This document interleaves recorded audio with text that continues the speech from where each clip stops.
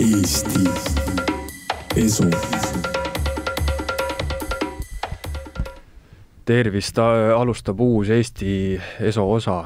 ja täna on meil selline teema nagu depressioon, miks inimesed on depressioonis, kuidas seda paremaks muuta ja nii edasi.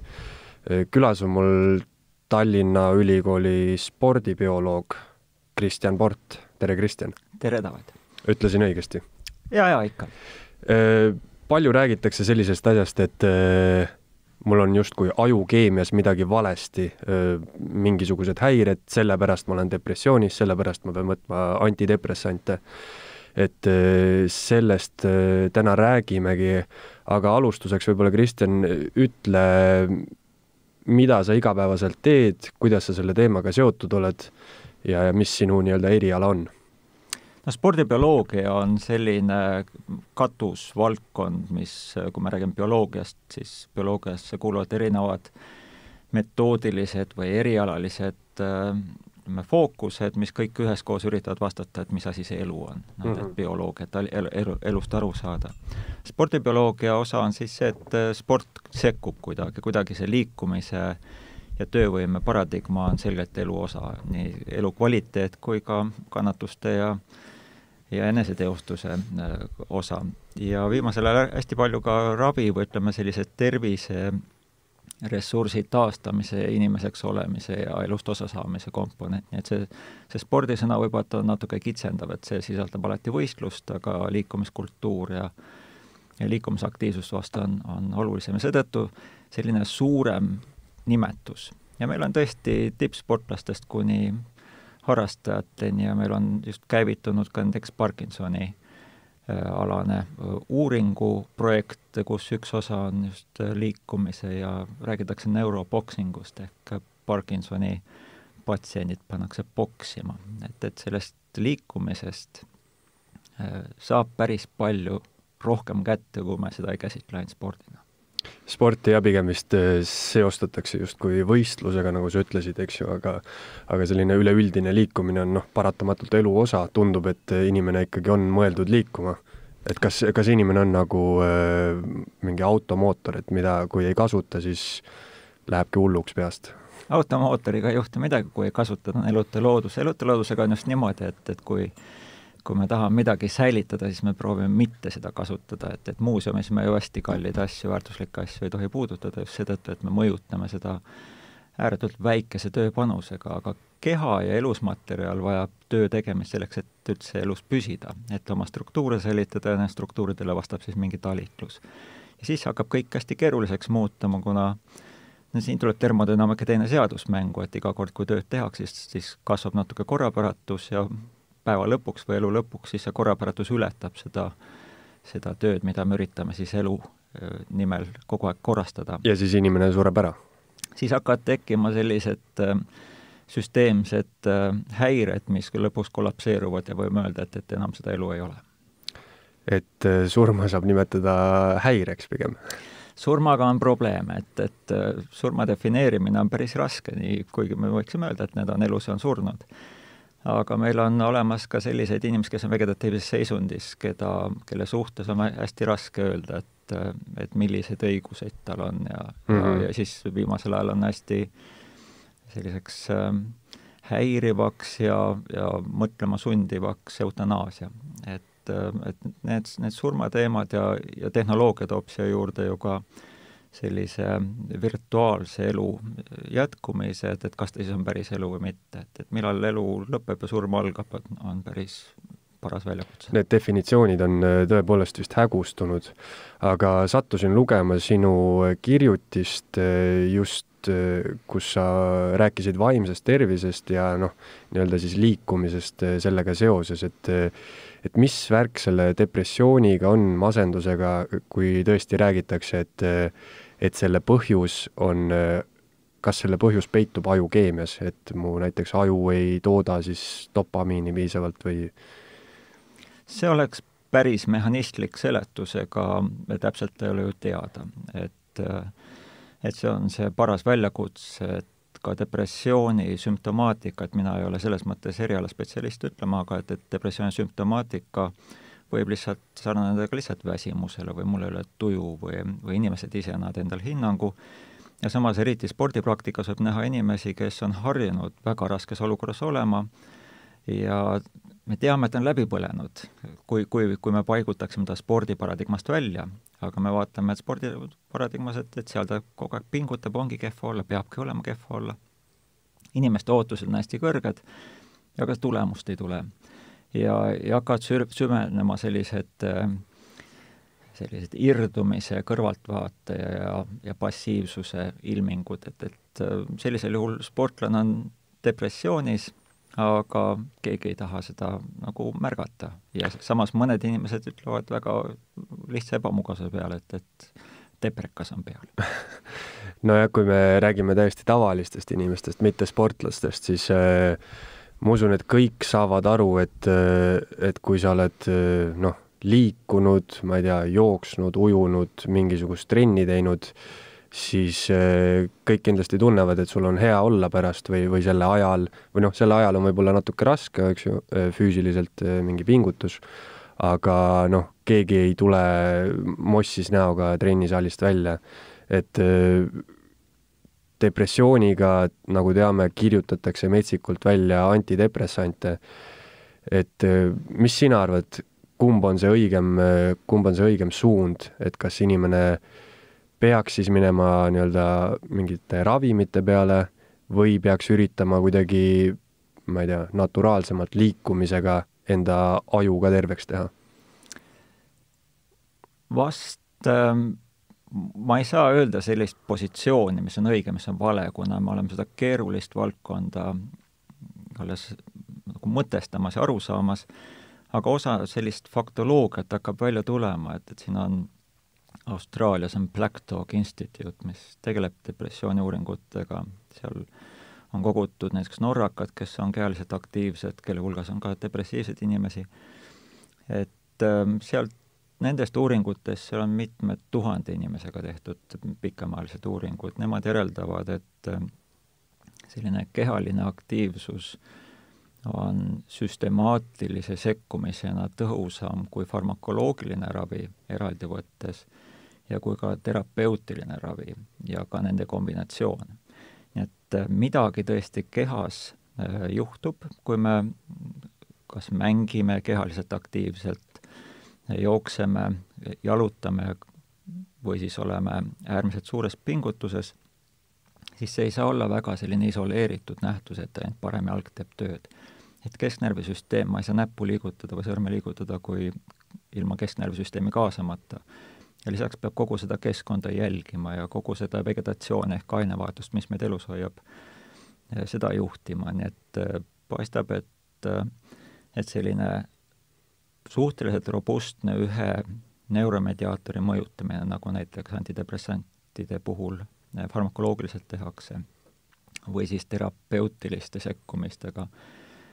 need on kõik sellised väga kitsad võrreldes kehalise pingutusega. Ja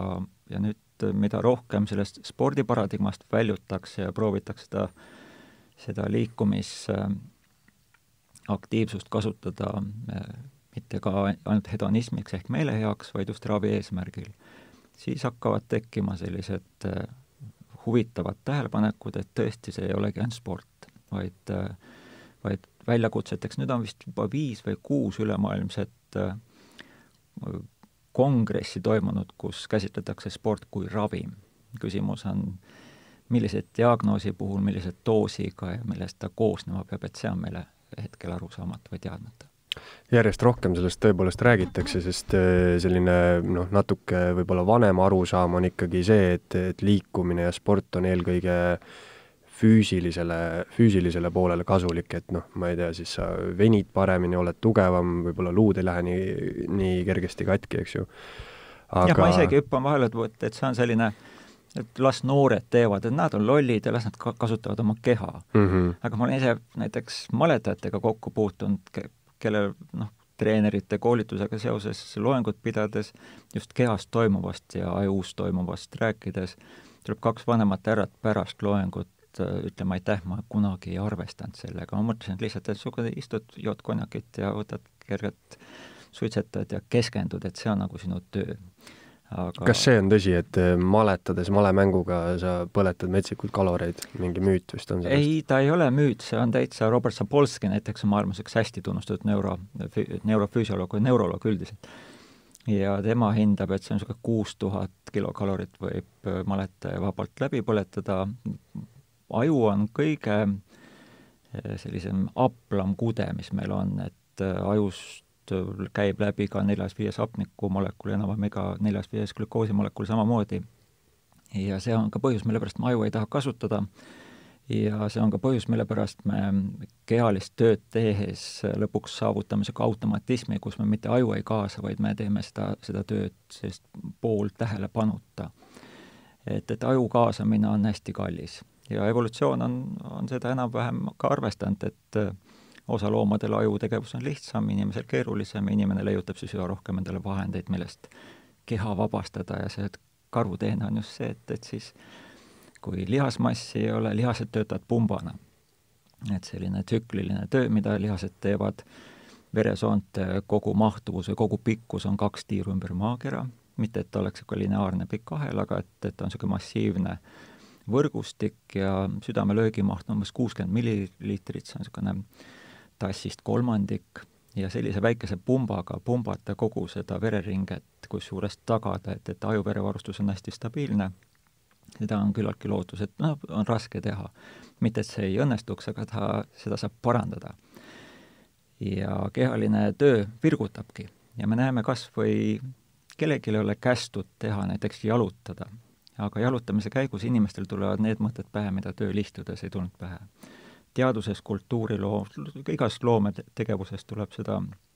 seda paberiservale kirjutatud, salvrätiku servale kirjutatud ideid, kuna need tulid pähe sellises olukorras, kus tal midagi muud kätte ei olnud võtta. Need tulevad just sellise kerge tsüklilise liikumise käigus siin on mul jah, mul on öö, mingisugune tähelepanek tekkinud aastate jooksul, kui, kui vaadata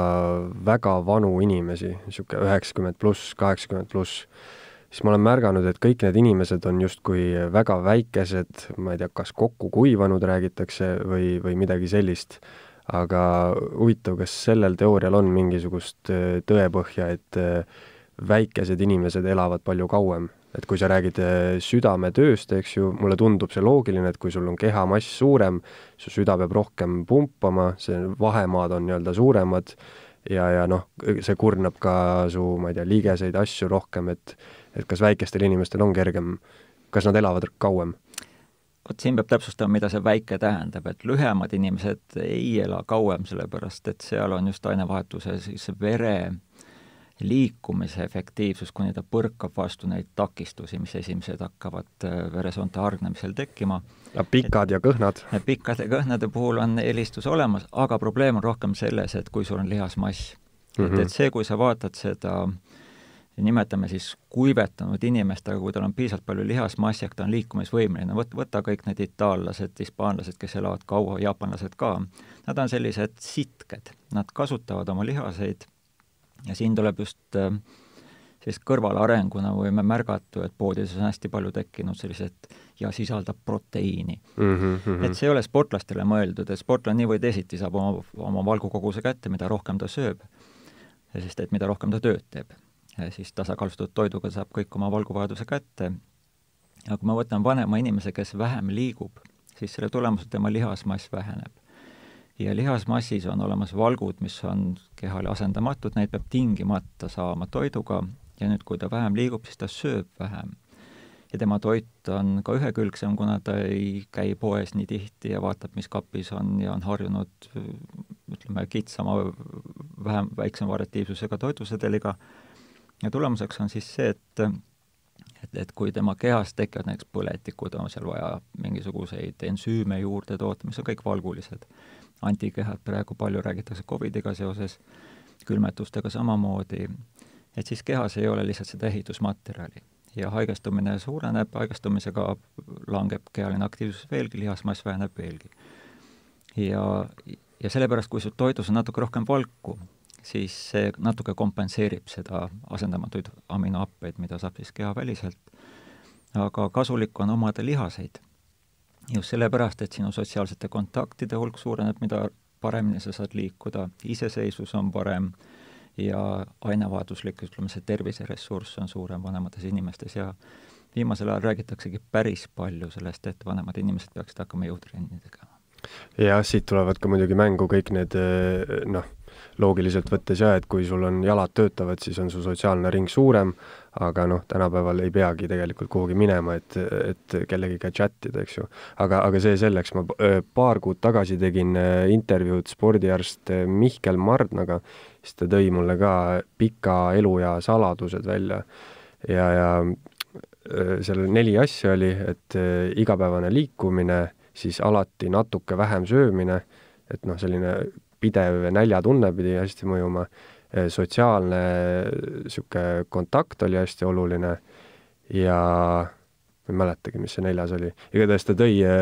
ta tõi huvitava näite sellest, kuidas üks Itaalia küla, terve küla läks Ameerikasse elama ja pandi sinna kuhugi, noh, kuidagi sattusid ameeriklaste keskele ja võrreldi siis itaallaste eluiga ja ameeriklaste eluiga ja vaadati, et milles on asi, et äh, itaallased, et kas nad siis joovad vähem või kas nad söövad tervislikumalt, aga ei olnud üldse niimoodi, et iga päev söödi väga rasvast pastat, kõik nad jõid veini kogu aeg, kõik enamasti suitsetasid, aga neil oli just see, see perekonnaga koos elamine, see sotsiaalne, see side, et siis tänu sellele kuidagi elasid kauem aga rääkides äh, Covidist jah, siis äh, me kõik teame, et siin on noh, metsikud enesetapu arvu kasvud ja, ja asjad, eks ju, et inimesed noh, tundub, et nii palju rohkem põhjusi on, miks depressiooni langeda, aga nagu sa mainisid, siis et nüüd hakatakse vaatama liikumist justkui ravimit ja seda nagu doseerima inimestele, et et no mõtlen, et kas siis noh, pärast trenni on mingisugune endorfiinide selline äh, pauk ajus, et sul on hästi hea olla, aga mõtlen, et eh, need inimesed, kes toovad argumendiks, et nende depressioon on eh, mingi ajukeemia eh, hälve, kas liikumine siis muudab pikaajaliselt ka ajukeemiat, et ütleme, kui sa teed võib-olla seal kuude viisi trenni, kas sinu ajus tõesti midagi muutub? muutub küll, et tegelikult aju on plastiline, ta on kogu aeg aju muutub, meie rääkimise ajal toimuvad ka terve hulk muudatusi ajus et siin ei tasu jällegi sellist mehaanikast või argielust kokku puutuva mehaanilise elu metafoore kasutada, aga, aga jah, et, et kui rääkida, siin on täitsa mitu nagu mõttelõnga võib üles korjata, et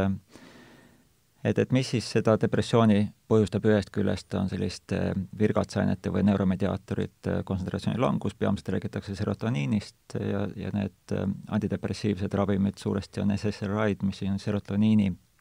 sellised äh, ainevahetust äh, aeglustavad, et seda serotoniini tase nii kiiresti ajust ära ei kaoks, oleks natukenegi parem tuju.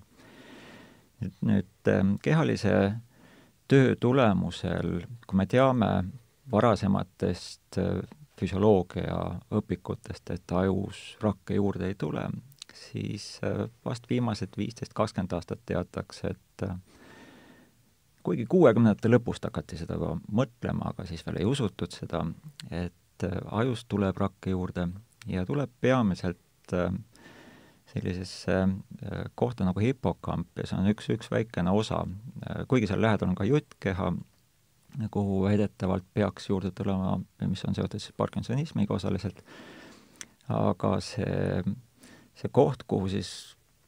neid uusi rakke juurde tuleb, on seotud meil selle lühiajalise mäluga. ja see on omakorda seotud Alžeimeriga.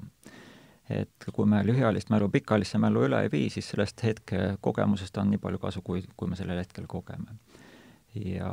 ja tuleb välja, et rahulik aeroobne kestev töö suurendab seal neuro, neugeneesi ehk, ehk uute närv, närvirakkude teket, see on niisugune kolme-neljanädalane tsükkel, alguses on lihtsalt uued sellised algsed mittefunktsionaalsed rakud, kuni nad muutuvad funktsionaalseks. ja, ja seda siis võib arvatavasti käsitleda, lisaks, lisaks on siis sellised äh,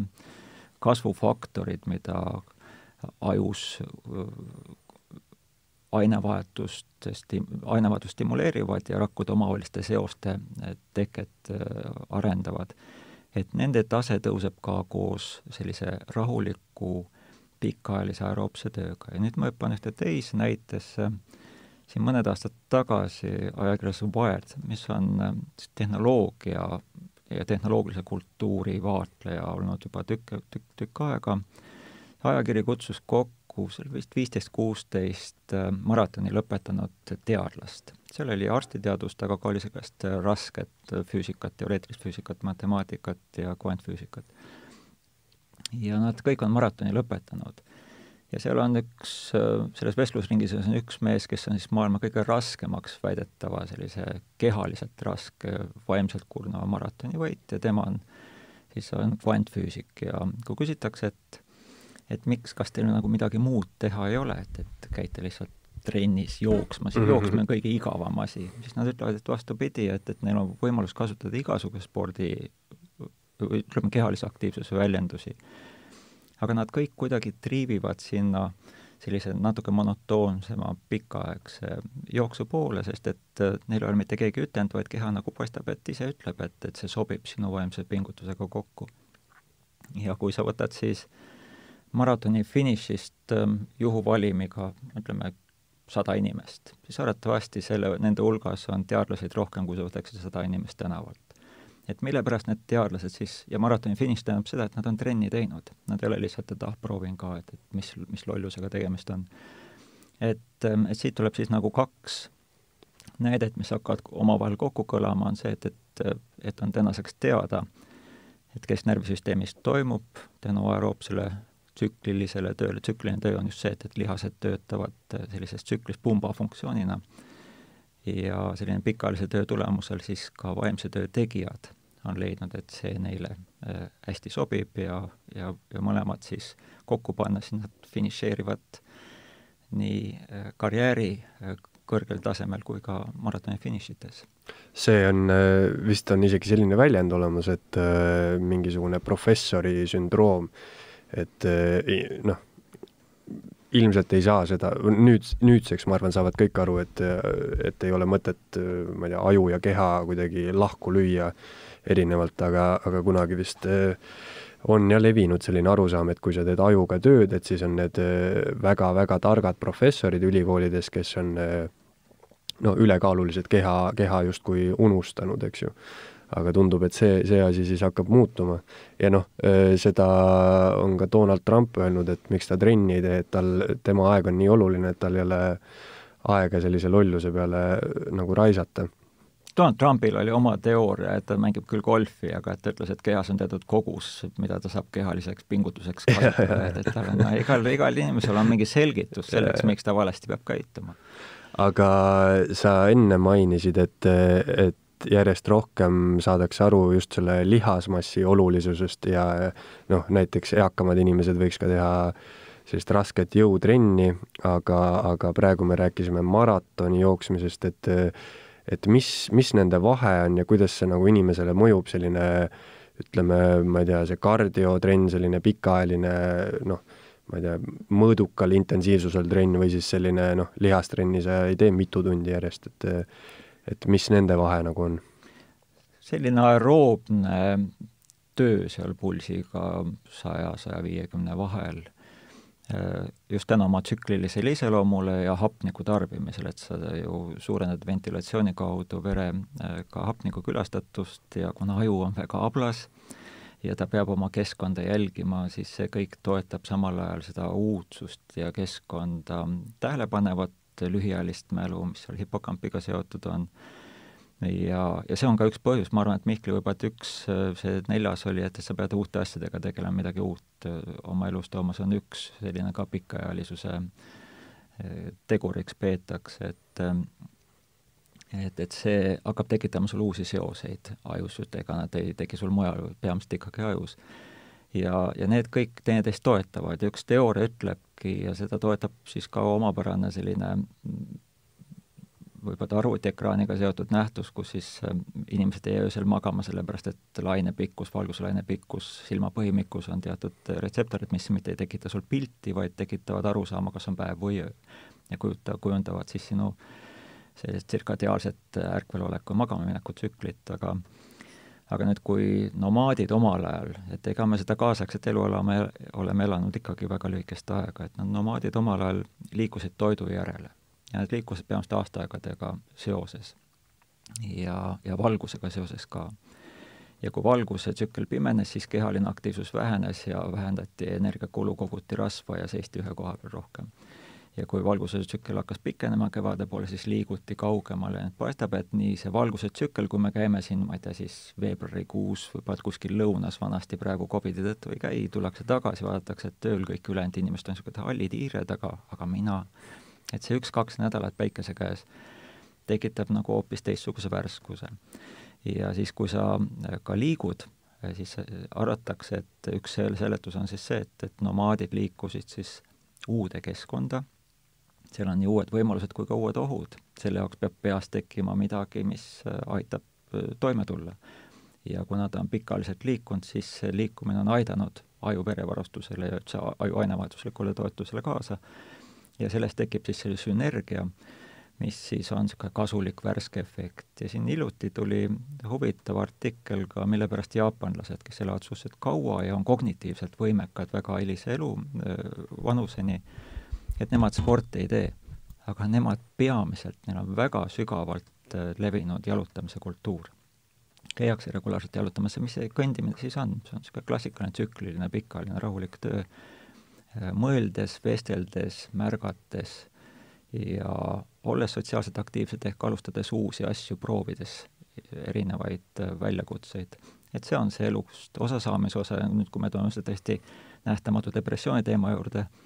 et depressiooni puhul me näeme, et inimene lülitab välja, et, et sa võid teda kallistada, lastele kommi anda, ei lähe korda, ei taha. et on üks kinnisidee, mis ajalooliselt on olnud võib-olla, et noh, et see depressiooni teema on selles suhtes huvitav, et ma hüppan jällegi natuke teise kohta, et et see esineb ka loomadel, järelikult evolutsioon on konserveerinud selle depressiooni, see ei ole niimoodi, et inimestel on ainult, ma ei tea, siis kiusuks külge jäänud, vaid esineb loomadel, järelikult evolutsiooni käigus ei ole mitte depressiivsed loomad välja surnud ega viljatuse või mis iganes vigade tõttu ei ole lapsi tootnud, vaid vaid paistab, et depressioon on siis alles püsinud erinevates loomades, inimeses kaasa arvatud ja terve hulk maailma geniaalseid teaduskunsti väljendusi on toodetud depressiivsete inimeste poolt. sellises kinnises äh, ruumis, mõtteruumis olles aga samas keha ohverdades, et nad sooritavad tihtipeale enesetapu mm. -hmm. ja vot see on üks probleem, et, et depressiooniga võime minna ühte kitsasse väga fokusseeritud tegevusvaldkonda ütleme, peresuhete puhul ka inimesed on siis, jäävad ainult seda ühte nagu mõtet mõtlema. ja see antidepressiivne efekt, kui me nüüd tuleme tagasi eelmise jutu juurde, siis paistab just selline rahulik kõndimine maha rahunemine, aju verevarustuse parandamine, seal serotoniini, dopamiini, noradrenaliini varude taastamine, see kõik ja siis kõik need äh, brain derived äh, neurotrophic factors või et, et ajust pärinevad neurotroofsed faktorid, et nende hulk suureneb just sellise äh, rahuliku aeroobse tegevuse tulemusel, mis ei ole sport võistluse komponendiga, vaid on lihtsalt selline, mida suudetakse kaua teha ja tahetakse üha uuesti teha.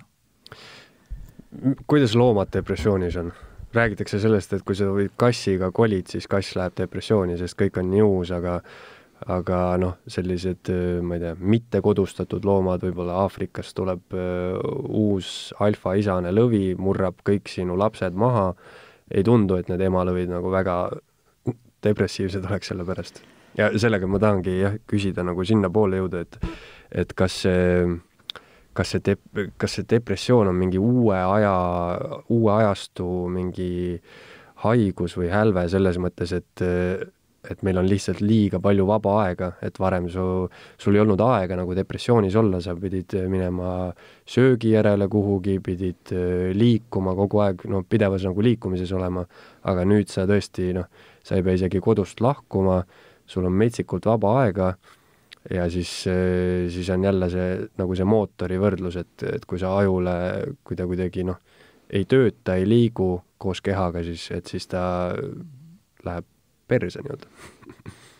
ja ta läheneb sinnapoole, et aga ta ei, mitte sellest tegevusetusest, vaid kui me läheme ajas tagasi, siis ka ütleme, nomaadiperioodil, kütikorilaste perioodil inimese elu oli ikka täis pidevat ohuallikaid. sellepärast mm -hmm. nad kogunesidki kokku, et, et et üks ohverdatakse, ülejäänud jäävad ellu, et see on see koos elamise viis ja üheskoos, kui sa üksi satud äh, kiskjaga metsalagendikule, siis on teada, kes sealt lahkub, kui sa oled mitmekesi, siis on teada, et, et kiskja sealt ei lahku. Et see koostegevuse viis on siis omal ajal hästi tähtis olnud ja see, aga see ei tähenda, et siin tuleb veel terve hulk seoseid sellega, et, et inimese unestruktuur on ka seotud, tal on seda remmu on rohkem kui ühelgi teisel loomal ja paistab, et see on seotud just inimestevaheliste suhetega. ja kaasaegsel inimesel vast kõige rohkem niisugune äh, depressiooni tekkepõhjuseks on inimsuhted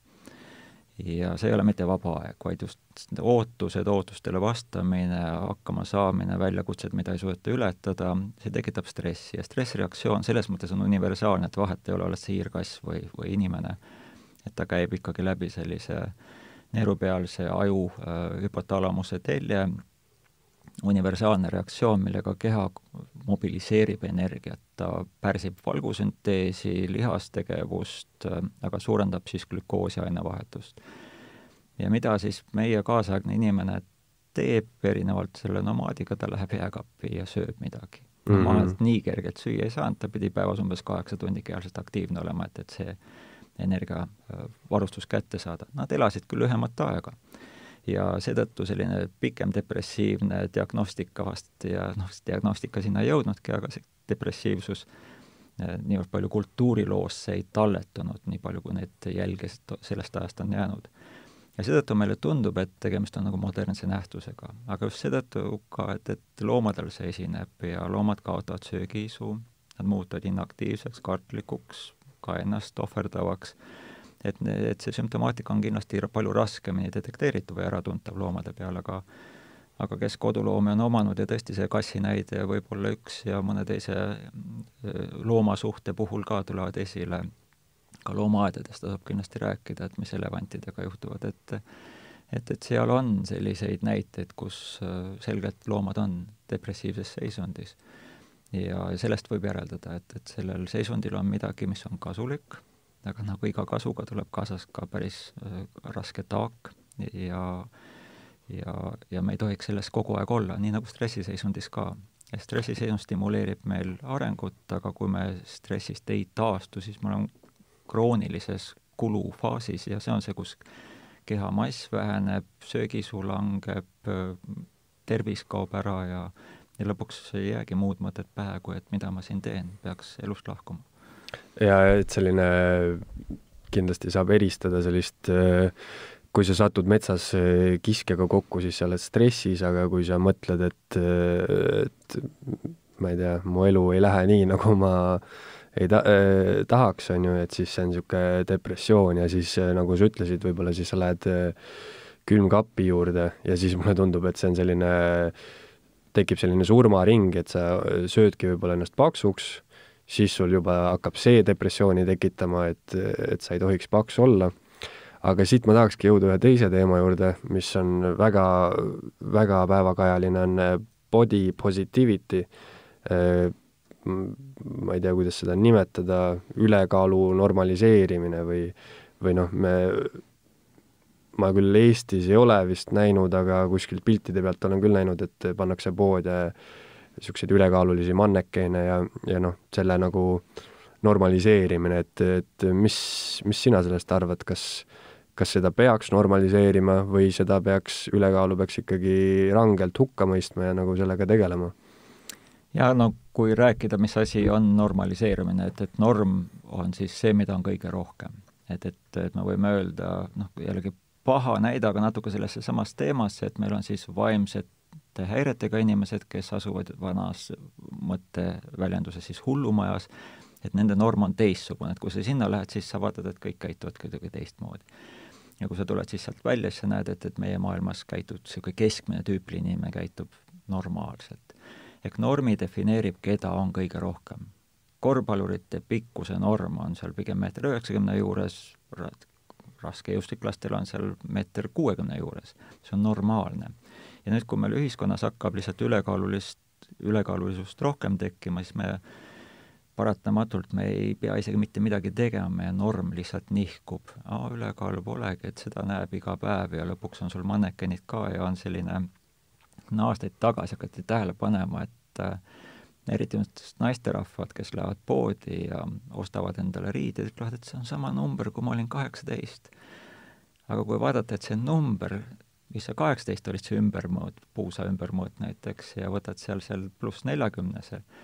siis sinna on viis sentimeetrit juurde pandud, aga selle toote tootja teab, et kui sa müüd talle suurema numbriga riided mm, -hmm. siis äh, inimene ei osta, ta ütleb, et pagan, et ma olen vist paksuks läinud, aga kui sa müüd sellesama numbriga riided, aga see lihtsalt ümbermõõt on suurem ja näed selliseid vaikseid nihkeid väärtussüsteemis, need tekivad just seetõttu, et, et meil neid ülekaalulisust on rohkem nüüd see ei tähenda, et ülekaalulisus on mõistlik. siit võiks peaaegu tuua mingisuguse väga-väga kauge seose, et ülekaalulisus on, selles on süüdi kapitalism selles on süüdi inimeste edu, edu hakkama saada, et, et kui me tõesti vanasti see Küdi Korilase päevast umbes hinnatakse, et seitse kuni üheksa tundi päevast kulus selleks, et saada kätte see suhu pandav energiahulk et sa üldse järgmise päeva elaksid ja kui sul sünnib laps, siis tekib sul nagu eriti suur väljakutse, sellest neid lapsi suri ka hästi palju. et, et see toidu kättesaamine on meil alati olnud äh, raske ja nüüd seda on lihtne kontrollida, lähed poodi, sul on seal, ma ei tea, neli piimapakki, üks on teistest üks sentimeetrit, üks sent odavam. noh, mida sa ostad? et meil on see vajadus saada odavamalt rohkem, on niivõrd tugevalt instinktiivselt ütleme siis geneetiliselt kodeeritud. ja, ja kui kesknärvisüsteem stressiseisundis, see vokk käib kiiremini ringi, siis ta ütleb, kus on süsivesikud, ehk me eelistame magusat, energiatihedat ja tulemuseks on siis kaalutõus, sest et me ei pea minema kuhugile juurikaid maast, maast kaevama, vaid vist jääkapp. aga kas selline, selline suure kondi jutt et kas sellel on üldse mingisugust tõepõhja, et et kas inimesed, mõni, noh, me teame, meeste ja naiste mingi keha rasvaprotsent on lihtsalt looduslikult erinev natuke, eks ju, aga kas selline jutt, et, et ma olengi, see ongi minu normaalkaal, kuigi teiste arust võib-olla sa oled ülekaalus ja sa ütled, et ma olen lihtsalt suure kondiga, kas, kas see, kas tasuks seda uskuda? eriti ei tasu, noh, tasub uskuda, mida taaskord teadus on tähele pannud, see kognitiivne dissonants, et kui me näeme, et, et me eristume oma soovides, siis me ei muuda muud kui oma seletust ja me leiame mingi seletuse, mis ütleb, et kõik on okei okay ja kui sa leiad kellegi teise veel, kes ütleb, et see on kõik okei okay,, siis go for it. Ja see on siis see sotsiaalmeedia efekt, et, et vanasti sa ei saanud lolli juttu väga palju rääkida väga paljudega. Aga nüüd sa võid selle hüüda sellesse sellisesse kogukonda ja seal on terve hulk inimesi, kes on tänulikud ja kajab tagasi mõne ajaviitega ja sulle tundubki, et vaata, kõik räägivad, et see ongi õige.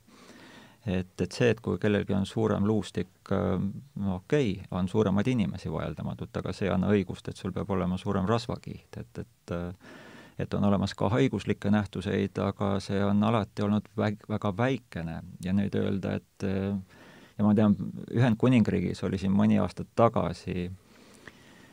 kuna ülekaalu saab äh, nagu mõjutada ka ravimitega, siis sealne ütleme, riigi meditsiinipealik ütles, et, äh, et oot-oot-oot, mida te olete tegemas, te olete muutmas ülekaalu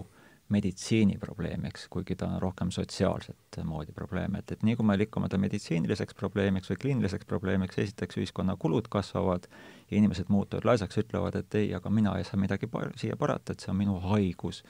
Et haigus on alati nagu mingisugune halb külaline, et, mina teda ei kutsunud, et minul rolli ei ole, andke mulle see tablett, mis võtab ära või viige mind siis kirurgi juurde, kes üritab magu vähendada. et see on hästi ohtlik.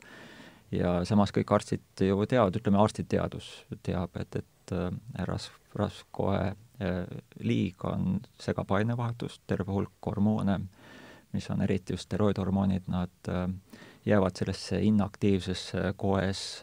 lihtsalt tallele ja häirivad kogu hormonaalregulatsiooni, muudavad aktiivse vormi inaktiivseks ja mingil hetkel see võib vabaneda ja tekitada üldse segadust. sinna kuhjuvad ka laguproduktid, raskmetallid ja kõik muu jama. ehk see ei ole kasulik, ei ole tervislik ja, ja nüüd hakata seda õigustama millegi muuga ongi ohtlik tegelikult sellist haigust, mis teeb inimese ülekaaluliseks, ei ole siis olemas? ei, haigused on olemas, ainevaatuslikke probleeme on alati olemas, aga need ei ole need, mis ütlevad, et see on normaalne. et, et haiguslikke nähtuseid on alati ma mõtlengi, et mi minimaalne osa ikkagi. et jah, kui, et ilmselt mingi haigus võib võib, on ju, suurendada seda ohtu, ma ei tea, mina haigustest väga midagi ei tea, aga ütleme, kui sul mingi haiguse tõttu on ainevahetus hästi aeglane, sul võib-olla tõesti jääbki see rasv keha külge kuidagi kergemini külge kui võib-olla mõnel teisel, eks ju, aga noh, baastasandil ei saa ju seda haigust süüdistada, siis kui sa oled sellises olukorras, siis sa lihtsalt pead nagu veel rohkem võib-olla jälgima, eks ju. Et... jah, samas ka haigusliku seisundi sa võid tekitada just oma mittenormaalse kehalise aktiivsusega, et kui me räägime, et inimesel on ka mõeldud normaalne kogus kehalist aktiivsust, mida ta päevas peaks peaks evima või siis mingi perioodi jooksul, mis on, just keha on selliseks kujundatud, meil on kuussada viiskümmend, natuke üle kuuesaja viiekümne lihase, need on kõik väga vajalikud, võtta üks ära ja juba elukvaliteet hakkab kannatama. ja, ja, ja kui me nendest ei hoolitse, siis me näemegi, et meil hakkabki see elu muutuma haiguslikuks ja haigus hakkab normaliseeruma ja see ei ole ju, mida me tahame saavutada ei iseendaga ega kellegi teisega kas on mingisuguseid noh, vabandusi, ma olen kuulnud igasuguseid, et, et ma olen ülekaalus sellepärast, et mul on, see on minu geenides. kas keegi üldse sünnib paksuks? Eh, jah, see on lausa geenidest alati võib leida mingisuguse teguri, et, et aga meil ei ole mitte ühtegi selget sellist mustvalget geenitegurit, mis ütleb, et siin on paksud ja siin on kõhnad. et, et isegi kui me inimese pikkuse võtame, seal on tuhandeid, tuhandeid geene, mis osalevad inimese pikkuse kujundamises. ja, ja nende geenide analüüs viitas vist aastal kaks tuhat kümme kuskil tehtud analüüs viitas, et sellega suudetakse ära seletada umbes natukene alla viiekümne protsendi pikkusest, nii et, et ähm, kui sina teed oma geenianalüüsi ja siis pildi järgi peaks selle analüüsi järgi, sa peaksid olema pikk, siis fifty-fifty enam-vähem, sa võid ka lühike olla mm. -hmm. ja sama juhtub ka sellise koe vohamisega, et, et ega see rasvkoe juurdekasvus osaleb hästi palju geneetilisi tegureid, see ei ole lihtsalt, et rasv ja üks geen, et et, et see rakk on ikkagi väga keeruline, enam-vähem vastab niisugune Boeing seitse neli seitsme keerukusele. Ja et kui sul üks mutrigeen on natuke üht, ühtemoodi, mõne, mõne uksehinge geen on natuke teistmoodi, see ei tähenda, et si-, sa tingimata paks oled, see võib soodustada teatud asju. aga meil on olemas siis äh, selline epigeneetika, et siis mis on geenidest väljapoole jääv osa, millest üks osa on siis kuidas see ainevahetus ise toimib, et kas sa oled aktiivne või inaktiivne ja teine siis selline sotsiaalne dimensioon, et mida sa sööd, kuidas sa sööd, isegi mis kellaajal viimasel ajal päris palju pööratakse tähelepanu sellisele ajas äh, toitumisega äh, noh, mõjutamisele ja siis öelda, et aga kõiges selles on süüdi, vaadake, seal nurgas seisab see üks häbiline geen või, või kaks tükki, see ei ole õige. aga ütleme, kui see on äh noh, evolutsiooni käigus niimoodi siin välja kujunenud, et mida liikuvam sa oled, mida noh, kergem, kõhnem, seda, seda kauem sa elad ja seda parem on sul elada, siis, siis miks on inimese ajus ikkagi niimoodi, et õhtul, kui ma võiks minna jalutama, mul on kuidagi nii palju kergem on visata ennast diivanile ja süüa pitsat? no see on sul harjumus, et ma tean inimesi, kes kes ei saa ilma ma-, jalutamata magama minna, et, et see inimene on ju õppiv süsteem, et ta on kompleksne süsteem, mis teatud asju korrates, siis see süsteem omandab äh, teatud äh, efektiivsuse nimel, et seda me ootame, seda peaks tegema. ja, ja me võime kas või ühe nädala võtta näiteks, et kui sa esmaspäevast äh, ütleme siis reedeni või ütleme, pühapäeva õhtust seal neljapäevani lähed õhtul kella üheteistkümnest magama, kuna sa pead varakult üles tõusma ja reedel on siis see vaba õhtu, mis hakkab õht juhtuma sinu kella üheteistkümnel, uni tuleb, aga sa oled sünnipäeval kellegi juures, oled ja siis kõik nagu haigutavad, vaatavad korraks kella, sa võid märgata seda, niisugune kahekümneminutiline aken enam-vähem, mille jooksul seesama rütm jõuab järgi ja siis jood kohvi, räägid seal veel ja järgmiseks märkad, et kell on juba kaks või kolm. et aga see rütm tekib päris kiiresti. Ja, ja nüüd süüdistada seda lihtsalt selles, et või jällegi see sõna, et, et, et me paigutame selle kehast väljapoole, et mingisugune nähtus, mis nõuab mul nagu õhtul pikali heitmist ja pitsa söömist, et et see on harjumuse küsimus suuresti. See on vist jah, ikkagi see kuidagi see kiire mingisugune siis endorfiini kättesaamine või see on nagu kuidagi nii kiiresti jõuab sulle kohale see korraks see, see hea maitse või, või noh? jah, me ootame, et, et kuna keha on harjunud seda saama, siis keha ootab, aga ma klaariks selle endorfiini jutu ka ära, et, et äh, endorfiini molekul on päris suur ja seda on tõesti aastate jooksul nimetatud, et, et see pingutuse tulemusel sul nagu vabaneb endorfiine, endogeensed morfiinilaadsed ühendid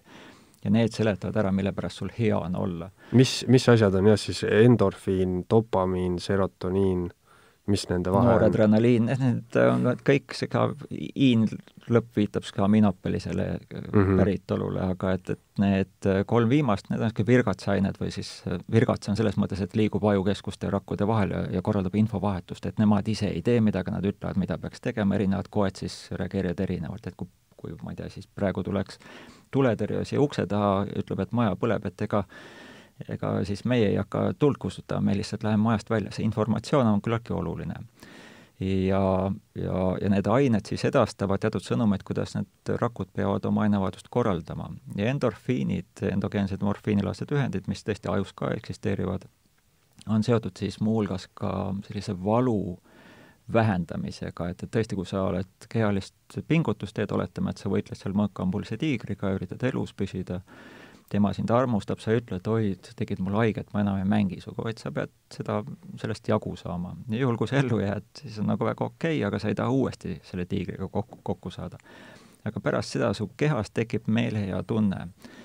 ja see meelehea tunne on arvatavasti seotud sellega, et sa ei kardaks tulevikus uuesti tegelikult hakkama saada. ja teatud tegevus näiteks kehalise pingutuse tulemusel ka, et, et sellest on sul kasu olnud toidu hankimisel või enda päästmisel või millegi muu kasuliku tegemisel, et sa seda hakkaksid kordama, ja seda on ka seotud siis endorfiinidega. aga nüüd mõned aastad tagasi, kuna on alati teada olnud, et, et endorfiin, mis kehas tekivad, need ei saa aju aju, nad ei jõua, nad ei ületa seda vere ja aju vahelist barjääri, see on niisugune väga karm piirivalvur seal. et suur hulk ravimeid ka sinna kohale ei jõua. ja oli teada, et see, need molekulid sinna ei jõua, aga ikkagi see efekt on olemas, et, et ajus endas olevad enda, endorfiinid võivad seda tekitada, aga seda, see ei seleta ära seda pingutuse järgset kehas tekkiva endorfiini lainet ja siis saadi aru, et tegemist on arvatavasti endokannabinoididega ja kannabinoidid on viimasel ajal hästi popp teema, see on siis, legaliseeritakse üha rohkem. Ja nende endokannabinoididega on siis pandud tähele, et USA-s sellises Boulderis, kus on hästi populaarsed maratonid, mägikuurortid nii edasi, kus legaliseeriti varem, siis sportlased on tähele pannud, et kui nad kannabist kasutavad enne pingutust või pärast pingutust, siis see meelehea efekt on suurem ja kestvam ja need katsed olid, kasutati siis hiiri, kus hiir, hiirtel oli see vastav retseptor blokeeritud või siis aktiivne ja siis demonstreeriti ka, et just endokannabinoidid on need, mis äh, seda meelehead annavad. ja mille pärast ma sellest räägin, on just, et siin võib olla see defekt, et äh, kui praegu inimesed käivad äh, nendel rahvajooksudel ja küll viis kilomeetrit enne finišit ütlevad, mida ma siin teen, ma olen kõige lollimas olukorras, mul on super valus, ma tahan koju siis nad on esimesed üldiselt äh, nädala aega pärast seda finišit, kes otsivad, millal järgmise aasta maratonil saab mm. registreerida, et, et mingisugune meelehea tunne tekib. aga nüüd, kui nad tarbivad äh, kannabinoide, ega siis erinevate tilkade või siis äh, sigarettide kaudu, siis võib arvata, et nii mõnigi avastab, et ei peagi jooksmas käima. Ja see on kahju, et kuna kõik see ülejäänud kehast saadav hüve see on minu oletus mm. -hmm. et aga, aga aeg annab arutust. jah, et siis vist enne maratoni tasuks jointi teha. ei, sa võid teha, see, see võib, kui sa maratoni lähed jooksma, okei okay,, fine, kuigi me räägime siis dopingu mõttes ka, et, et et võistluste ajal on see keelatud, kuigi mm -hmm. nüüd ka siin täpsustatakse seda, uuest aastast see reeglistik muutus, aga võistluste ajal ta on ikkagi sul teatud kesknärvisüsteemi talitlust kujundav ja ka valuvaigistav, et, et see ei ole lubatud sportlikus mõttes, sportliku võistluse mõttes, aga sellise rahvaliku eneseteostuse ja elus olemise mõtestamise suuremas otsingus võib öelda, võib karta, et äh, avastades, kuidas kesknärvisüsteemi otsesemalt mõjutada, võime loobuda võpatkealisest tegevusest mm. -hmm. jah, siin on äh, hea hea vist hästi stereotüüpsele kanepisuitsetajale, hästi stereotüüpsele kokamehele mõelda, et üks on neist hästi kõhn ja teine on ikka selline diivani, diivanielukas. aga jah, sa mainisid siin seda, just seda evolutsioonilist mõju, et, et kui sa metsas karuga kokku saad, siis on sul pärast sellest hea tunne ja see on nii loogiline, et sa pärast ei kardaks enam uuesti metsa minna, sest metsast sa saad süüa, eks ju aga, aga just sellest ülekaalulisusest äh, rääkides on ka, et äh, et ütleme noh, kuna nüüd on ülekaalulisus äh, järjest tõuseb kogu aeg, siis varem oli võib-olla tõesti, et et kui on väikeste laste klassis on niisugune üks paks poiss, siis teda metsikult narritakse, nüüd on neid võib-olla pool, siis selline narrimine kaob ära, aga kas see kas seda, ma mõtlen, et kas see on nagu päris õige seda nagu õeluseks nimetada, et kas sellel ei ole ka mingisugune evolutsiooniline efekt, et kui sa näed eh, noh, visuaalselt näed ülekaalus inimest, siis see kuidagi evolutsiooni pärast sa ei taha temaga kokku puutuda või noh, eh, ta on, eh, tundub sulle nõrk, võib-olla mitte hea paariline, vähema elueaga, mitte nii aktiivne ohuolukorras näiteks see on sinu esitatud hüpotees, et ähm, evolutsiooniliselt, kui keegi oli paks ja me teame Indiast, kus on väga kehv toitlustus äh, olnud suurte masside jaoks, ülekaal on olnud rikkuse tunnuseks. aga see tundub mulle just pigem niisugune sotsiaalne jaa, aga ta ongi, ta kajastab ikkagi, unustame selle India korraks ära, aga lähme natuke lihtsamasse sotsiaalsesse struktuuri, et mm, -hmm. et mhm. kui keegi on ülekaaluline, ju ta siis saab rohkem süüa, ju ta oskab seda paremini teha ja mis, mis iganes, et et ma ei usu, et, et tegemist on lihtsalt ülekaalu äh, põhise eristumisega, vaid me otsime märke, mis ütlevad, et äh, inimesed on teistsugused kui meie mm. -hmm. ja, ja meil on vaja neid grupikuuluvusi, et oo, meil on korvpallurid ja jalgpallurid sakivad teiega, et, et, et, et ülekaaluliste mitte ülekaaluliste vahel, ühtedel on ühed kaubamärgid, teistel teised, need on need põhjused, mille pärast me seda grupikäitumist, kuna laste käitumine on väga habras, oskamatu ja julm, et, et seal vast see tuleb rohkem esile ja täiskasvanutena me tolereerime või normaliseerime seda ülekaalu vaikivamalt huvitav, kas seda on ka uuritud, äh, ütleme, kumb töötab inimeste puhul paremini, kas nii-öelda lihtsustatult piits või präänik, et et kas see, kui äh, võib-olla sulle heidetakse ette sinu kehakaalu, kas see paneb sind näiteks õhtul pitsa asemel jalutama või, või see, kui sulle öeldakse, et, et ära muretse, kõik on korras, et kas sa siis nagu kuidagi ise tuled selle peale? Ei ole nii lihtne, et siis meil oleks ju lihtsalt üks, ma ei tea, president kuulutaks aastavahetuse kõnes välja, et kõik ülekaalulised olete lollid ja vastikud ja võtke ennast kokku. et neid teooriaid on kolm-neli erinevat teooriat, millega üritatakse seletada see motivatsiooni muutust mm -hmm. inimestes, et mis põhjustab käitumise muutust ja nad seletavad ära umbes pool kogu käitumismuutusest. ja nad ei ole samasugused vanematele ega noortele inimestele, et vanemate inimeste puhul on selline äh, tervisekaotuse teadvustamine oluline, aga nad ei tee ikkagi, me näeme täiskasvanud, kes on ülekaalulised ja kes on mingid muud inaktiivsed, nad teavad, nad ütlevad, tahaks, oleks, saaks, teeks. aga miks nad ei tee? trigger või see päästiksündmus puudub mm. -hmm. Neid tuleb kas Google'il lükata, ma ei tea, siin veel mõni aeg tagasi oli äh, ettevõtete suvepäevad, kus inimesed said proovida midagi uut ja siis nad avastasid, jalgrattaga sõit pole kõige hullem, et aga nad ei olnud kunagi ise seda jalgratast endale hankinud või kõndimas käinud, mis iganes, et neil on vaja päästiksündmust. nüüd teisel poolel noorte puhul nad ei käsitle ju seda terviseriski, et, et, et so what, et mul pole midagi viga, et ma võin põletada ennast. aga neil on siis äh, selline peer group või, või sihtrühm, kelle suhtes nad ennast häälestavad, üks sihtrühm on vastikud lollid, lollid ja kaabakad ja teine on see, kelle järgi siis võiks joonduda. ma ei mäleta, mis eesti, uus eestikeelne sõna on nendest Youtube'i äh, mõttekujundajatest ja suunamudijad. jaa, okei okay,, jah, suunamudijad, et need, igalühel on mingi oma suunamudi ja mm -hmm. siis mhm. osa hakkavadki sellele vastata, et milline on tema peer group. Ja siis ta peab vaatama, et, et kas tal on takistusi selle teostamiseks, et mõnikord on vaja, mul ei ole selliseid riideid, järelikult ma ei saa seda teha, ja siis ta hakkab ennast, tekib see kognitiivne dissonants, kus ta hakkab õigustama, mille pärast ta ei saa selles grupis olla ja siis ta leiab, et võib-olla see grupp sakib täiega, siis ta läheb viskab ennast teisele poole. et, et selles suhtes inimene ikkagi suht keeruline nähtus. aga siis ta teeb endale ikkagi karuteene, eks ju, kui ta hakkab õigustama, sest noh, võib-olla mingi impulss on olemas, et ma ei tea, ma tahaks kuuluda sinna gruppi, kus on näiteks kõhnad inimesed, aga, aga kui see nõuab mingit pingutust, siis ta leiab mingisuguse vabanduse või noh, mis iganes asja peas ja tegelikult ta siis ikkagi surub selle impulsi alla või, või? Jah, see kognitiivne dissonants õigustabki ennast äh, mitte tegema seda, mida ta tahaks teha mm, -hmm. et, mhm. et, et ega ta ju ei ei ütle, vaid ta leiab seletuse, miks ta ei pea seda tegema. ma mäletan, mõned aastad tagasi me tegime koolides uuringu, kus me saime aru ka, et, et osa neid, kes ei spordi, nad ütlesid, nad spordiksid juhul, kui näiteks ei peaks võistlema või sportima ei peaks koolimaja juures, et nendel olid sellised takistused et aga nad tahaksid seda kehalisest, keha kasutavas mängus osaleda. siis me näemegi, et kuidas sellisest klassikalisest spordist, kus on reeglid ja eesmärgid,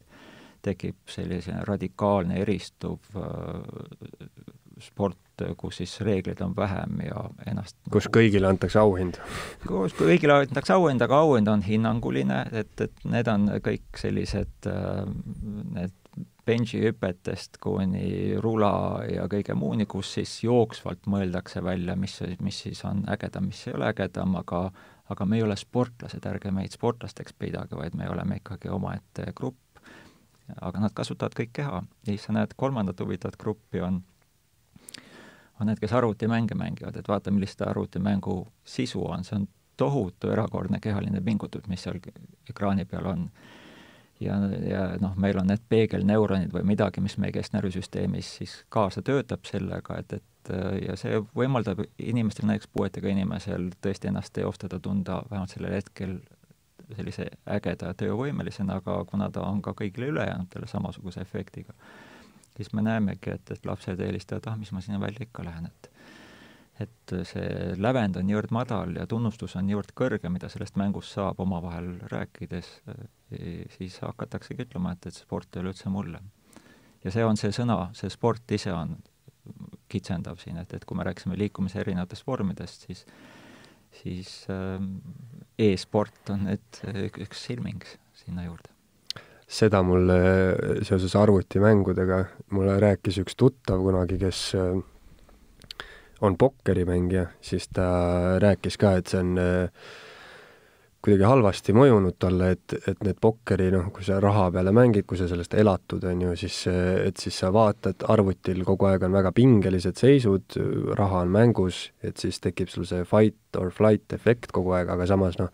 kehaliselt sa lihtsalt istud öösel arvuti taga, on ju, aga kogu aeg oled selles nii-öelda selles stressiseisundis, et et võib tekkida mingi selline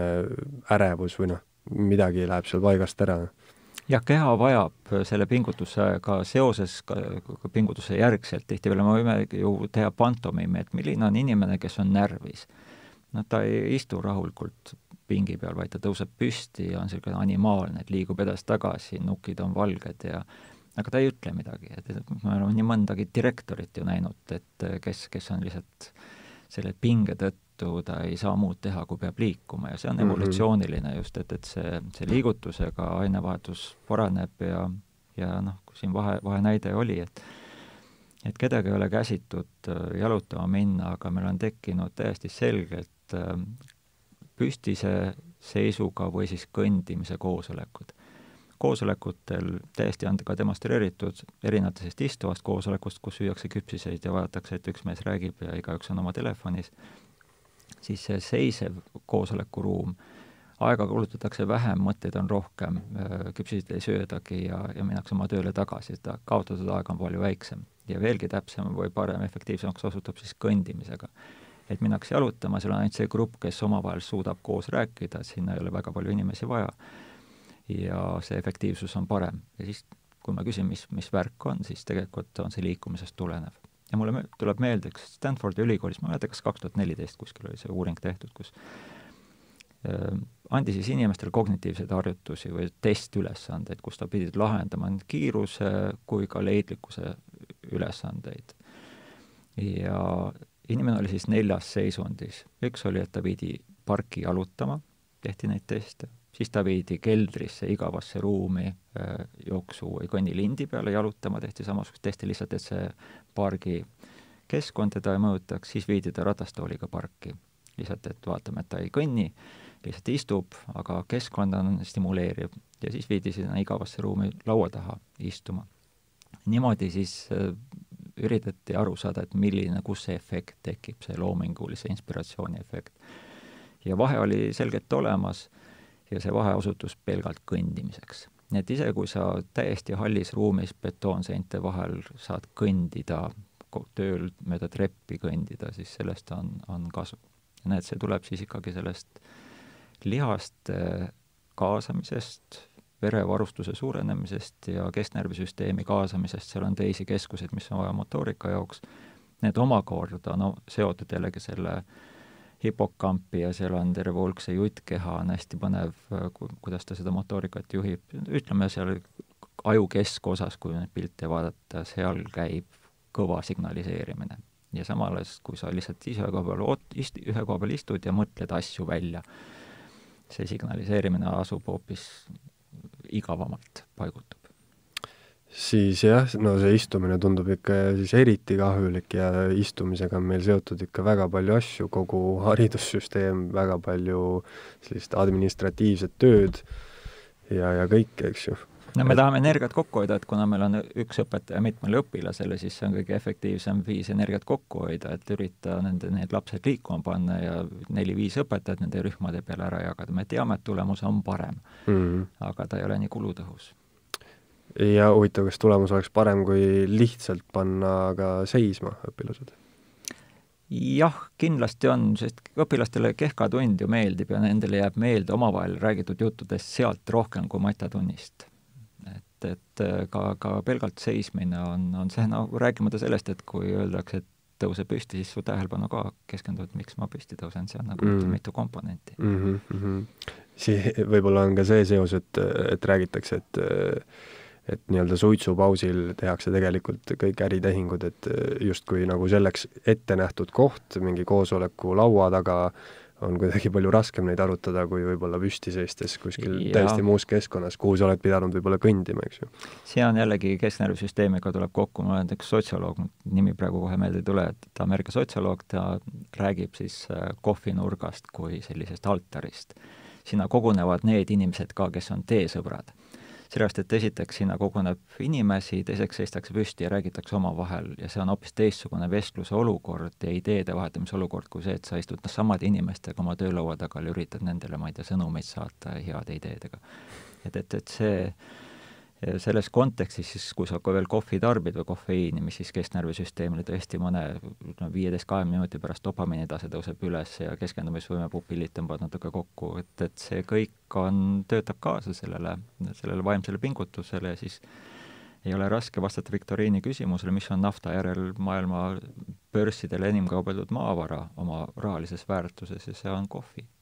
Mm.. mitte maitse pärast, vaid töövõime pärast kohv on äh, naturaalne erguti justkui ka, eks ju? ta on absoluutselt erguti ja, ja nüüd, et seda kohvi rohkem müüa, siis pannakse seda energiajookide sisse, et mm, -hmm. et, mhm. et mõnedele kohvi maitse ei meeldigi, et loomade peal tehtud katsed, loomadele üldiselt kohvi ei maitse. aga inimesed on õppinud ja lastele ka väga ei maitse, nad õpivad seda maitset seostama selle töövõimega seotud ja keskendumisvõime ja sellise kerge eufoorilise seisundiga seotud meeleheaga ja e, energiajook on ju kofeiin pluss suhkur põhimõtteliselt vist, eks ju, see on nagu topelt, topeltlaks enam-vähem. Ühte teemat natuke küsiks veel lõpetuseks, et, et sul oli ööülikoolis oli üks huvitav loeng sellest, et igavesest elust põhimõtteliselt, et et kuidas sa ise näed, Kristjan, kuhu poole me liigume, kas me liigume, kas eluaeg järjest-järjest pikeneb seoses tehnoloogia arenguga või, või on sellel ikkagi mingisugune looduslik piir ees, et kas ütleme, mingi aja pärast, kas inimesed elavad saja viiekümneni või, või lõpmatuseni või, või sellel on ikkagi see, see, kus me praegu oleme, seal kuskil kaheksakümne juures võib-olla? jah, siin on väga mitmele teemale peab, peab tegelikult keskenduma, et, et ähm, et me näeme, enesetappude arv kasvab seal vanemate inimeste hulgas, eutanaasiast rääkimata. et, et kui me arvame, et me tahame väga kaua elada, siis see, see vanus tuleb juurde sealt tagumises otsas, kus meie kognitiivne võimekus, kehaline võimekus on, on poole tee peale maha jäetud ja, ja selles seisundis inimesed ei taha väga kaua olla, nad ütlevad, kõik on samasugune, ma poes ei saa käia, sotsiaalseid kontakte ei ole ja, ja, ja elu muutub väga-väga-väga depressiivseks. Et, et taaskord see sõna tuleb siin esile mm. -hmm. et, et me peame arvestama siis pikaealisuse puhul, et millises äh, seisundis me tahame olla, et, et et, sellest ei piisa ainult, et keha jaksab äh, kauem, ma ei tea, siis äh, verd ringi ajada, et süda tuksub. ja see on jälle, toob selle surmatemaatika juurde, et, et surma jaoks definitsiooni ei ole, aga on tunnused. et me saame öelda, et teatud kriteeriumite alusel saame öelda, et, et aju ajutüves signaale ei ole ja süda on seiskunud ja ei hinga, et järelikult on surnud, aga see ei pea seda tähendama, et, et me näeme, et koed elavad edasi, et, et no põhimõtteliselt ju igaüks kujutab ette ka olukorda, kus äh, keegi tilgutite all seda võib hoida jah, vegetatiivses seisundis võib olla, aga me saame ka öelda, et inimene on elustatav mm. -hmm. et, et me oleme surnud inimesi ka elustanud, et või noh, kliinilisse surma kuulutatud inimesed on elustatud ja mõned on kuulutatud surnuks, mis ei olegi surnud, et neid lugusid on ka, et, et see tekitab just selle probleemistiku, et et, et seda detailsust peab natuke rohkem endast läbi laskma kui see, et ta on lihtsalt binaarne lüliti, et, et on, ei ole. ja nüüd, kui seda lülitit paigutada, venitada mingi aja peale, et, et tõesti, et mida tähendab see pikk, pikk elu ja mille arvelt, et, et kui me kehast hakkame juppe välja asendama, siis me näeme juba, siin on isegi näidatud, et perifeerne närvisüsteem, et naha all olev osa, selline tunnetuslik osa, et, et osa sellest perifeersest närvisüsteemist isegi suudab arvutada. Et, et kui me neid ära võtame, asendame tehniliste seadmetega, et endiselt sa saad nagu oma keskkonda kujundada, aga sa ei ole enam sama inimene mm. -hmm. ja et kui sa ise arvad, et sa oled elus, siis teiste arvates ka täiesti bioloogilise inimese puhul öeldakse pärast haigust, et, et ta ei ole enam see inimene, et me näiteks ei taha temaga koos olla. et see on juba teatud mõttes nagu sotsiaalne surmaotsus, et et see on, on niivõrd mitmetahuline temaatika, aga, aga jah, bioloogiliselt paistab, et on olemas kuna sada viisteist, sada kakskümmend on see, kus enam-vähem on, on kellad, et, et et seal on terve hulk arvatavasti just termodünaamika teisest seadusest tulenevaid asjaolusid, kus see entroopia lihtsalt kasvab ja kompleksses süsteemis lihtsalt hakkavad üksikud asjad jukerdama. et selles mõttes see, ma ei tea, kas see on õige, et iga mingi seitsme aasta tagant on kõik rakud välja vahetunud kehas? jah, materiaalne baas meil vahetatakse ümber, aga ehitus, kui ma olen üliõpilastele pakkunud, et, et kes tahab arvestuse jaoks saada seal, et, et kirjutada ühe A4 lehekülje ümber, aga ühtegi viga ei tohi teha, et, et siis keegi ütleb, okei okay,, okei okay,, ma oleksin nõus, et, et aga siis ma ütlen, oot-oot-oot, ma lõpetan ära, et sa pead seda kakskümmend korda ümber kirjutama, täpselt sedasama, et sa oskad seda juba kirjutada, aga ikkagi ühtegi viga ei tohi tekkida. ja tekib siis kerge nagu kohmetus, et ei, ei, ei, et, et see kakskümmend korda küll, aga et see vea tõenäosus ei tule enam üle, üliõpilasest, vaid ta tuleb lihtsalt paratamatust sellest mm -hmm. tõenäosuslikust ruumist. ehk shit happens, nagu öeldakse, et ja aja jooksul lihtsalt kui me kirjutame seda materiaalset baasi kogu aeg ümber, me peame seda uuendama, siis paratamatult tekivad need muutused, mida, millest mõned võivad kasulikud olla, mõned neutraalsed ja mõned on lõppude lõpuks siis kahjulikud ja paistab, et see sada pluss, seal sada viisteist, sada kakskümmend on selline tüüpiline kudesid on üritatud ka elus hoida. seal on erinevaid kuded, kudede sees olevaid tegureid, telomeeridest räägitakse päris palju, seal on arvatavasti teisi mehhanisme ka mis siis ütlevad kudedele, et, et kuule, mida värk, et lõpeta ära. et, et sinuga ei saa kaua olla, kuna sa muutud ohtlikuks, sa oled niisugune imelik tööriist, et mm, -hmm. et, et, et seetõttu see, see igavikulist elu ei saa sellesama materjaliga jätkata, järelikult me peame sellesse materjali sekkuma. ja siis tekib äh,, tekib see niisugune küsimus on omaaegne Kreeka äh, vallutaja oli, kelle, kelle laev äh, otsustati pärast surma jätta tema mälestusmärgiks. ja siis seda laeva vaikselt putitati, et ta oleks ikkagi ilus, inimesed saaksid külastada seda kuni ühel päeval vaadati, et sellest vanast laevast ei ole mitte ühtegi algupärast juppi alles, et kõik naelad ja kõik otsad ja olid ümber vahetatud, et, et et Teese, Teeseuse laevaks nimetatakse, et et kas see on siis Teeseuse laev, et kas see oled sina, kui sinus on kõik jupid välja vahetatud. Ja tekibki küsimus, et okei okay,, mina minaks, aga, aga me defineerime ennast teiste inimeste kaudu ja teised vaatavad, et midagi on aja jooksul muutunud ja siis no, ütleme, meie enesekäsitlus muutub seetõttu. kui su kogu noh, kui natuke ulmeliselt rääkida, kui su kogu keha, kõik organid, asjad sa suudad välja vahetada tehniliste vastu, kõik on sul, ma ei tea, kasvatatud või, või, või mis iganes ja aga aju on seesama, et kas see siis ei, me võime isegi aju, aga et isegi meie vestluse tulemusel ajus toimuvad praegu täiesti selged muutused. Aga just küsimus on selles, et kas sedasama indiviidi igavesti kasutades meie, me ise jääme samasuguseks, ei jää samasuguseks. Ja kas see muutus on parem või halvem ja mis siis juhtub nende teistega? Ja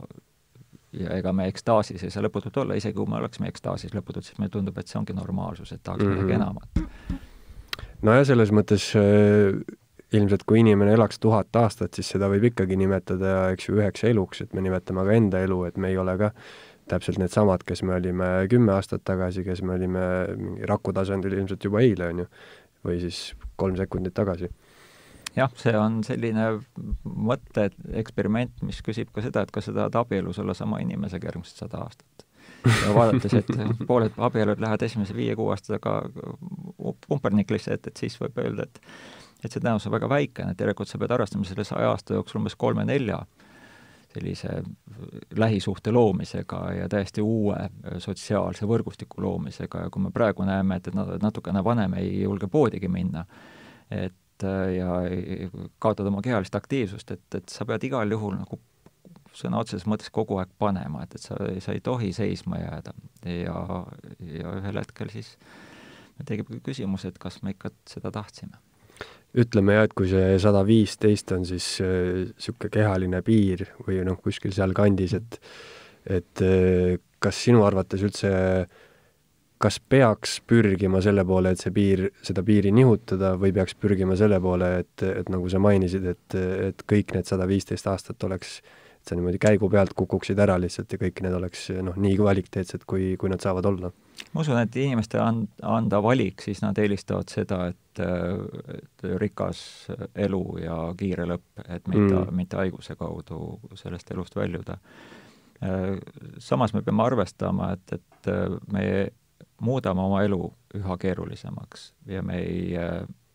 kohustus ja sund olla töövõimelised ei ole enam see, et, et et bensiga nagu lõpetad aktiivse osa elust ära või, või saad inaktiivseks muutuda, vaid et maailm on nii paljude seostega seotud omavahel, et, et, et see nõudlikkus inimese suhtes kasvab ja selleks, et hakkama saada avanenud sajandil, me arvatavasti me peame oma töövõimet pikendama sinna kaheksa, üheksakümnenda aasta juurde ja kui, mida kauem me elame, siis seda tuleb veelgi rohkem pikendada. et äh, selles suhtes nagu eluea pikendamine on peaaegu et paratamatu. et seda keerukust äh, ülal hoida, mida me ise kogu aeg loome. või siis äh, tekitame ise, mille kohta on siin mõned head mõtlejad ka ütelnud, et, et see risk selliseks tõsiseks eksistentsiaalseks katastroofiks kasvab kogu aeg meie enda tegevuse tulemusel ja mis siis juhtub inimesega, kui kompleksse süsteemiga, kellel on insult, et ta muutub vägagi beebiks, ta hakkab uuesti väga ettevaatlikult toimetama, juhul kui ta ellu jääb. ja pole välistatud selline korrektuur. ja ma mõtlesin just sellise mingi evolutsioonilise väljavenimise peale, et ütleme, kui mingil hetkel on võib-olla keskmine eluiga on sada kakskümmend, et, et huvitav, kas siis hakkavad muutuma ka sellised asjad, et millal näiteks lastel tekib teismeiga, et siis võib-olla võib-olla see, mida me praegu peame nagu kahekümneaastaseks inimeseks, võib-olla ka see nagu hakkab nihkuma ja inimesed hakkavad veel aeglasemalt üles kasvama. Kui noh, ma ei tea, seal inimesed on mingi viis aastat järjest on beebid, kes ei suuda rääkida võib-olla. no me näeme juba praegu, et, et ülikool ei ole ka ju väga enam spetsialisti tootmise keskkond, vaid ta on niisugune lapsepõlve pikendamine, et, et kool muutub üha mugavamaks ja ütleme, pere surrogaadiks. ja ülikoolis ka toodetakse pigem sellist äh, fun'i hävimise, äh, meelehea saamist, sotsiaalse rikkuse võimalusi, kuna töö on üha rohkem, üha vähem pakkuda ja töö on üha madalama palgaga, et lihtsalt ülikool on selline sotsiaalse krediidi hankimise periood elust, siis äh, abiellutakse arenenud ühiskonnas, Soomes vist esimene laps sünnib naisterahvastel seal juba teisel pool kolmekümnendat eluaastat, et vanasti ta oli seal kahekümnendate alguses, et see kõik jah, selgelt nihkub äh, kuhugile natukene edasi. et et äh, ja sellel on omad sotsiaalsed korrektuurid tekivad ka oma väärtussüsteemis. ja kui nüüd lapsi sünnib vähem, siis vanemate inimeste osakaal hakkab poliitilistes valikutes domineerima ja nende valikud ei ole mitte rulapark, vaid on arvatavasti mingisugune ma ei tea, siis mass-, massaaž virtuaalkiivriga okei okay,, sellega ongi hea lõpetada aga selge siis, inimesed äh, liigutage oma keha põhimõtteliselt selle ja kasutage, see on ikkagi ant, antud selleks lühikeseks ajaks ja kui te selle käest ära lasete, siis on pikk, pikk ja vaevaline periood ootab ees. vot, aga aitäh sulle, Kristjan, et said tulla! aitäh! Eesti Esu